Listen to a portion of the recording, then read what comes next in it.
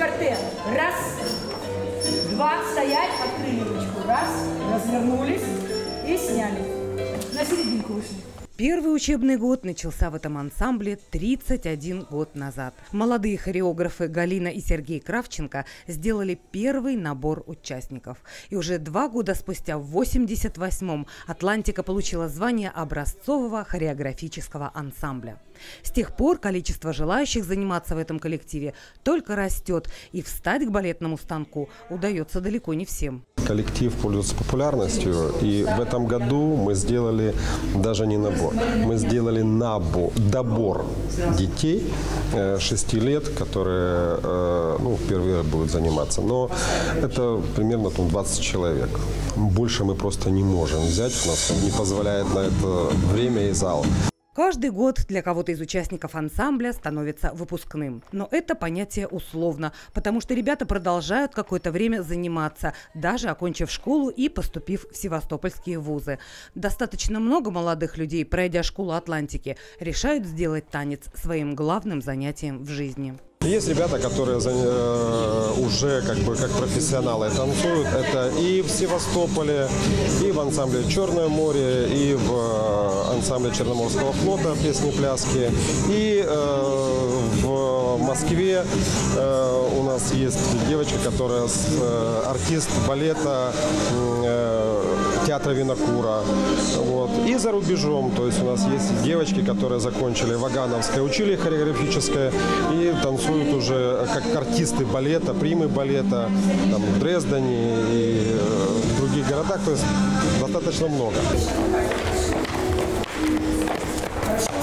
Молодец, молодец, Алиса, все встали. Раз, Ансамбль начинал как коллектив народного танца. Сейчас работает и в стилях джаз, джаз-модерн, хип-хоп. Но основа всего – вечная классика. Станок, середина, диагональ и все это на пуантах. Со стороны кажется, что порхать на них очень легко. Я когда-то пробовала, когда еще тут не занималась, э, встать. Сначала было очень больно, но когда я начала тут заниматься, как-то было уже, э, ну, даже нормально. Ну, надо собраться, э, сжать э, ну, руки, чтобы были свободные. И стараться вскочить на палец э, как можно дальше. За свою жизнь ансамбль создал пять хореографических спектаклей, более ста композиций. Это творчество видели далеко за пределами Севастополя. Ансамбль – участник международных фестивалей. Два последних года «Атлантика» становится победителем престижного конкурса детского творчества «Преображение» в Санкт-Петербурге. Ребята рассказывают, что дарить свой талант и труд зрителям – это удивительно. Когда ты стоишь за кулисами, ты начинаешь сильно волноваться, ну, думать о танце, может быть, движение. А вот когда выходишь на сцену и танцуешь, это именно нравится. Ты смотришь на, смотришь на зрителя, и ты заряжаешь их, они заряжают тебя. Это удивительно, в общем.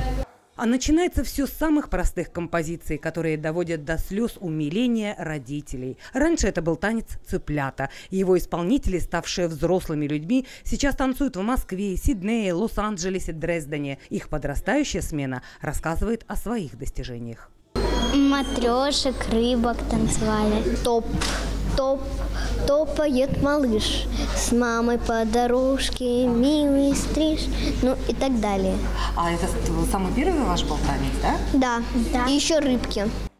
Старшие группы «Атлантики» всегда относились к малышам очень трогательно. Это традиция ансамбля. Никакой дедовщины, только забота. Но все такие милые, прикольные. Самое главное, чтобы не ушли раньше времени, а чтобы хоть немного прозанимались, чтобы увлеклись. Ну, не верится, что мы такие же были маленькие, неопытные еще. Хочется, чтобы они ходили и... Им это нравилось. Да, ну не только нравилось, чтобы каждый ходил и ну, не бросал, если начатое дело. Потому что у нас замечательные руководители, которые, если ты будешь хотеть стараться, то ты многого добьешься. Новый учебный год начался. Дети идут в танцкласс постигать премудрости хореографии. И это ничуть не проще алгебры. Интересней наверняка. Легче нет. Елена Анисимова, Денис Александрович, Севан Формбюро.